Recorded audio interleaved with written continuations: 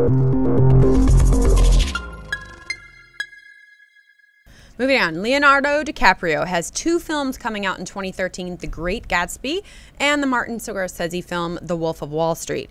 If you're a DiCaprio fan, you may want to make sure you go out to see those as soon as you can, since the actor is now claiming he'll be leaving the movies for a while after Wolf of Wall Street. He's quoted as saying, I'm a bit drained. I'm now going to take a long, long break. I've done three films in two years and I'm just worn out. I would like to improve the world a bit. John, buy or sell DiCaprio deserving a long hiatus? Uh, if was almost anybody else, I'd say get over but I'm going to buy this. Uh, I think DiCaprio is one of the, the, best and hardest working actors in Hollywood. He's very prolific, puts out a lot of great high quality films, but he's got a Bono side to him too, where he actually legitimately is one of these guys who wants to use his fame and money to try to improve the world. So I buy it.